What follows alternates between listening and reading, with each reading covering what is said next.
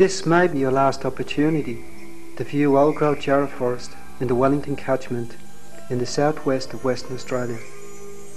The Wellington catchment begins high up in the Darling Scarp, 200 kilometres south of Perth and 30 kilometres east of Bunbury. It runs east past the town of Collie and then out to the wheat belt. The region is in the intermediate rainfall zone with an average of 900 to 1,200 millimetres of rain a year. A wide variety of native flora and fauna live in this region, including the rare native cat, the chuditch, which is threatened by logging and burning.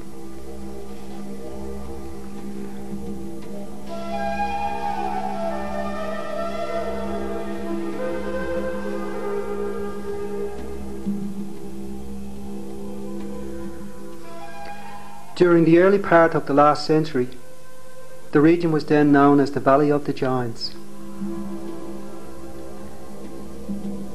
In those days, jarrah trees were selectively logged for railway sleepers and construction timber for schools, houses, bridges and jetties.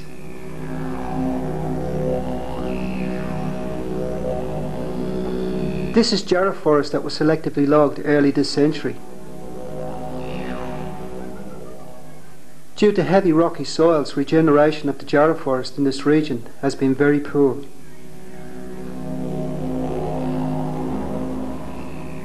In those days, disturbances in the Collie Basin was minimal because of the steep terrain. But now, 100 years later, there is almost no area left the machine cannot go.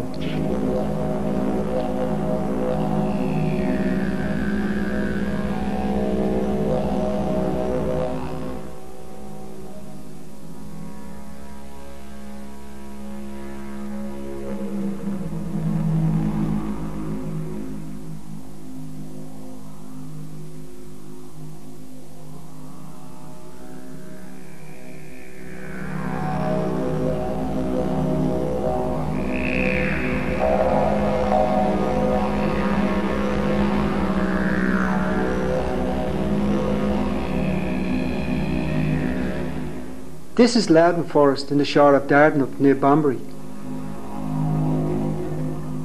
Loudon is approximately 5,000 hectares in size and dominated by Jarrah, Marri and Blackbutt forest. According to botanists, Loudon had one of the highest value for vegetation types in the central forest region. Loudon is situated in the Wellington catchment and is now being logged by the Department of Conservation and Land Management, CALM. CALM is the government agency in charge of protecting the native forest, but at the same time are chopping it down. This logging operation you now see is driven by the demand for jarrah logs to burn for charcoal.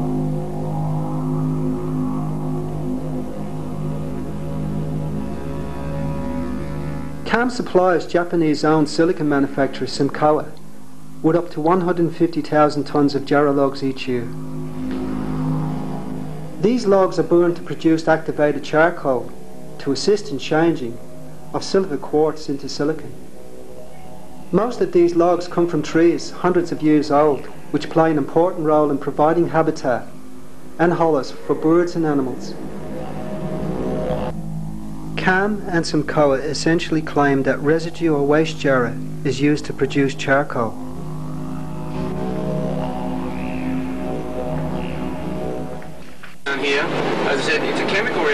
Between silicon dioxide and carbon. The way we get carbon is we get it from, from uh, jarrah timber, and most importantly, this jarrah timber is actually residue timber uh, from the forestry operations conducted in the southwest. Important thing to note is that the, uh, looking at a lot of these logs, you'll see there's a lot of rot in the, in the, at, in the base of them. These logs are not usable for any application whatsoever. In, uh, under normal circumstances, in a logging operation or whatever, these, this wood would just be put into a pile and burnt. And that's typically what's happened uh, in the years prior to Simcoa's intervention. Today, we take these these uh, waste logs, which are typically uh, wood that's been dead on the forest floor or a dead standing tree, and we systematically cut it up in sawmill over here until we form all these, as we swing around, you'll see all these blocks over here. Um, we use a little bit of uh, what we call green timber. That means that the tree was actually alive. You'll see some there that are much smaller in diameter. This is when they actually go into a forest. There's actually too much growth in the forest and they actually need to thin it out a little bit so that there's uh, um, so that there's only a few trees remaining so that they develop you know, strong, healthy growth and much, much quicker growth. We're actually just trialling those green uh, logs at the moment. CALM and Simcoa claim that eucalyptus plantation timber is not suitable to produce charcoal. Brazil is one of the biggest suppliers of activated charcoal in the world. Brazil sources its charcoal from Australian eucalyptus plantation grown from seed, donated by Australia during the 1950s. Recently, the New South Wales Labor government, under Bob Carr, refused to give a silicon plant similar to Simcoa a license to source their timber requirements from native ironbark forest. The average base royalty for charcoal logs to CALM is around $5 a tonne. Try buying a tonne of firewood for that amount. These jarrah logs destined for Simcoa could keep a small timber mill in supply for a year. From 1997 to 1998, nearly 14,000 tonnes of charcoal logs were chopped down at Loudon Forest for Simcoa. So I understand that these logs are actually being um, they're going to Simcoa to be chipped, is that right? Be chipped. Yeah. They're going to Simcoa for green charcoal logs, yes. They're going for green, green charcoal logs, yes. yes. Would you agree that there's some first, second grade logs there? I haven't had a look.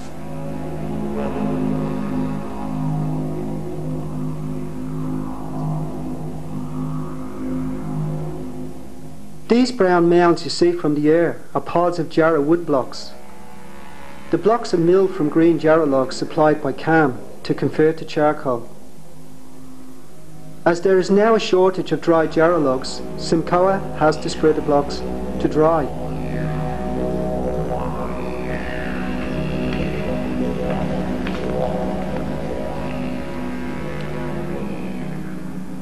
The machine seen operating here in Loudon Forest is debarking the logs for Simcoa. A large percentage of these logs are first and second grade saw logs.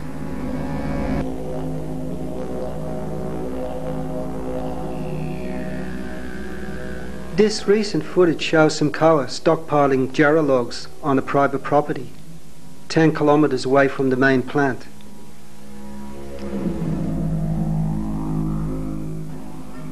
If for some reason some Simcoa were to lose its jarrah resource tomorrow, the plant would have enough stockpiles to continue operating for the next three years.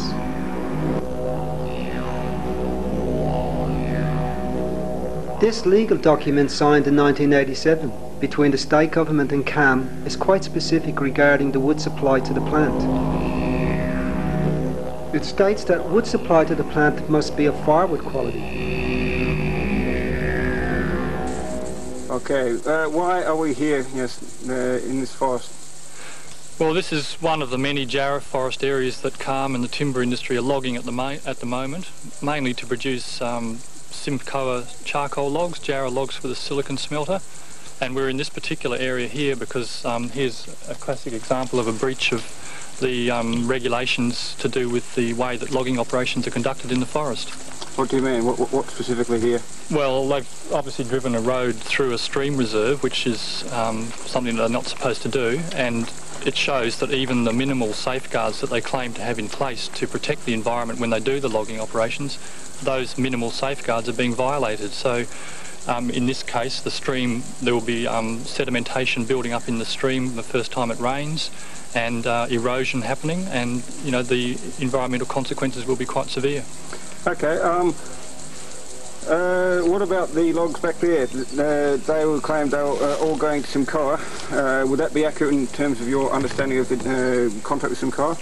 Well, um, CALM has a contract to supply Simcoa silicon smelter with about 120,000 tonnes of jarrah logs per annum to be turned into industrial charcoal. And a lot of the forests um, that are being logged at the moment are primarily producing charcoal logs and a, and a small quantity of saw logs. And what we saw this morning over the other side of Loudon is a classic example of huge stockpiles of um, jarrah logs, many of them very good quality logs, many of them very old habitat trees that are um, being cut down and, and, shipped off to Simcoa, and CALM is charging them about $6 a tonne royalty, which is, um, you know, it's about a tenth of what people have to pay for a tonne of firewood.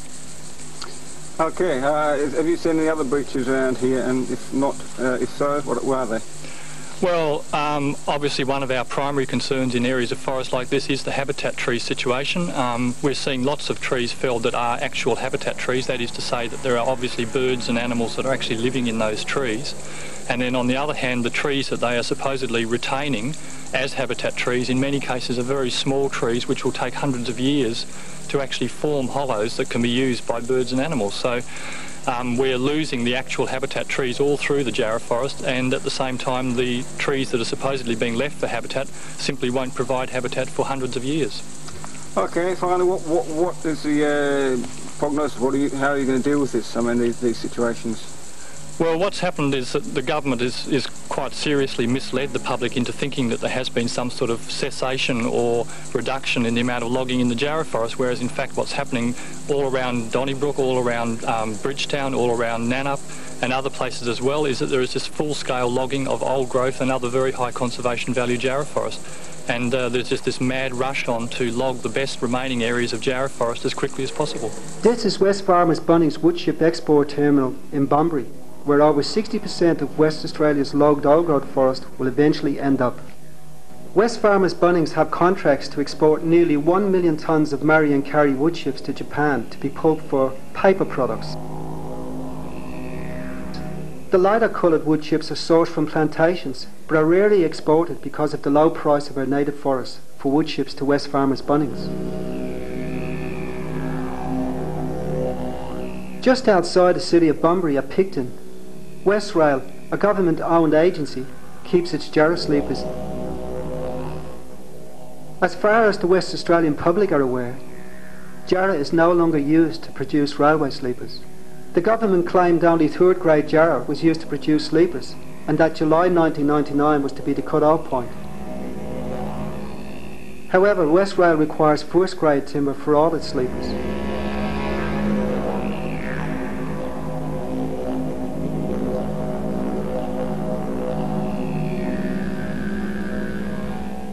This docket shows that railway sleepers are still being cut from first grade Jarrah as recently as February 2000. The docket also shows that these sleepers came from Wesfarmers Bunnings Dean Mill, a sawmill near Manjimup. Dean Mill is well known for only milling first grade Jarrah logs. The fine woodcraft industry could increase the value of this Jarrah a thousand times over. There are now alternatives available for Jarrah sleepers such as concrete, but the symbiotic relationship between Wesfarmers Bunnings and the government overrides common sense.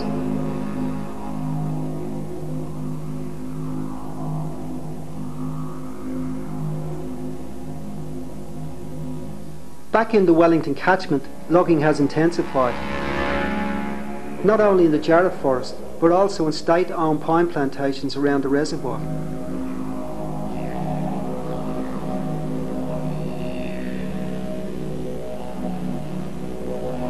The Wellington Reservoir is now undrinkable because of high salinity levels. Salinity in West Australia is a major concern with nearly one third of the state's agricultural land affected. During the 1980s, the West Australian state government imposed bans on clearing of native vegetation on landowners in the Wellington catchment to help control salinity. Over $20 million of taxpayers' money has already been spent in compensation for clearing controls. That, of course, does not apply to the Department of Conservation and Land Management, CALM, who on behalf of the state government have logged plantations right up to the water's edge. Even the logging of native forest in the catchment must adhere to certain legally binding conditions.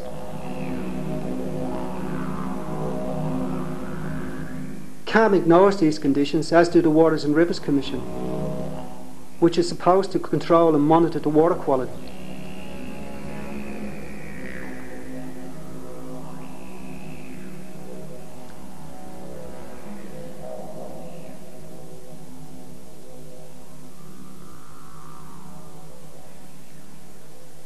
Of approximately 150,000 hectares of high conservation native forest logged in the last 20 years in this region, only 25,000 hectares of native forest still remains in the Wellington catchment.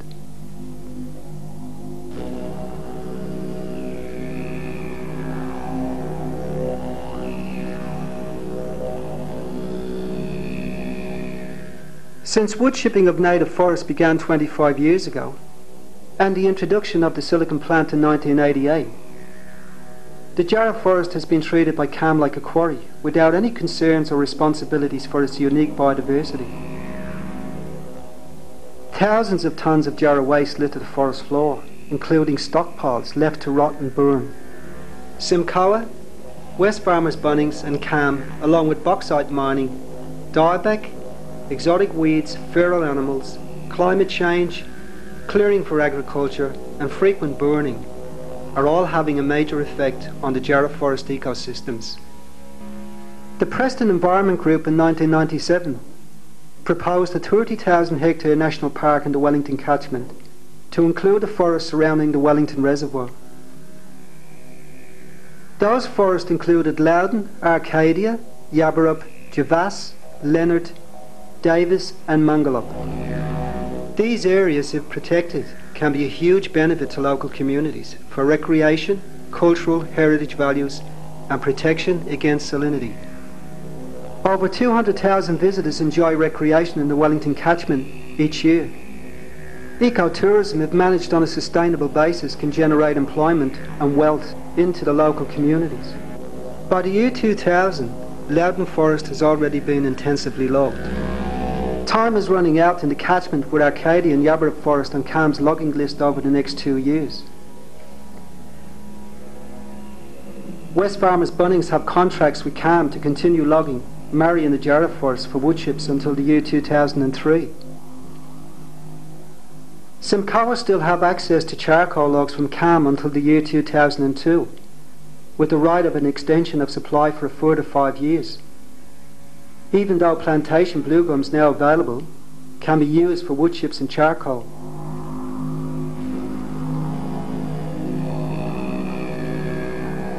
At the current intensity of logging, the last remaining areas of old-growth forest cannot possibly sustain or supply Wesfarmers and Simcoa's future timber demands. CALM and the state government, Wesfarmers Bunnings and Simcoa have a moral and social responsibility to the 90% of West Australians who want an end to the destruction of the remaining old-growth forest. An immediate moratorium on logging in old-growth forest is the only solution. If this is not achieved soon, future generations will be asking, where did we go wrong? Who was responsible? Who should be accountable? For your children's sake, take a stand.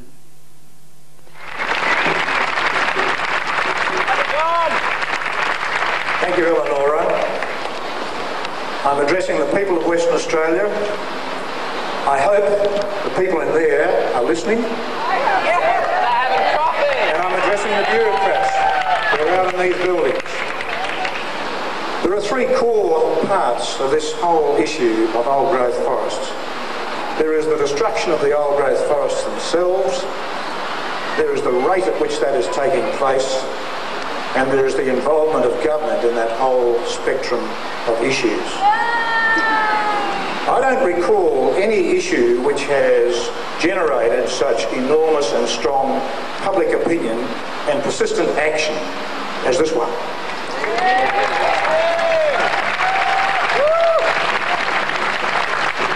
I do not recall an issue which has received such strong opinion from the public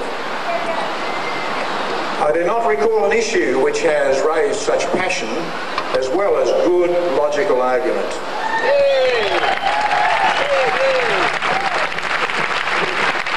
And I do not recall an issue which has been so badly dealt with by government.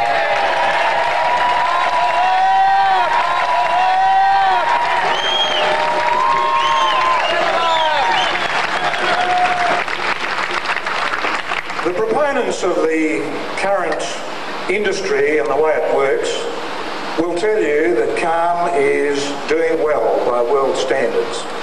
Maybe, but the concepts on which they're operating are out of date and not relevant to this day and age. Get them out!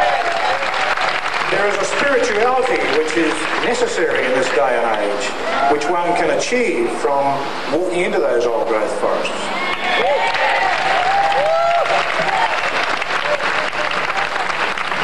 Nature will be our salvation. The old growth forests are a very evident part of that important aspect of nature in this part of the world. The previous speaker or two referred to the job situation. What is so special about not restructuring the timber industry? What about the Telstra workers that are going to lose their jobs? What about Midland workshops? What about farmers? What about the education department? What about hospitals? They've all had to cope with it, and none of them had any federal money to help them. The forest workers have. Surely Mr Court and his government can make a decision about what is the right thing to do. They do not belong to the members of parliament. They do not belong to the bureaucrats around here. Nor do they belong to the merchants of William Street and St George's Terrace. They belong to us.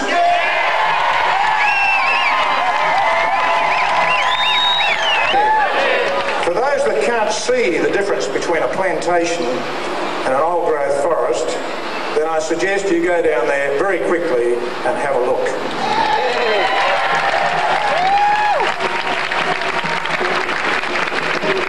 Plantations do not replace the biodiversity which we know exists in those forests. And unfortunately, none of us are going to be around in a thousand years when they may have achieved something of a regeneration of that biodiversity. There is one simple decision that Mr Court and his government could make. Today, or if he needs a little more time, tomorrow. A moratorium on the logging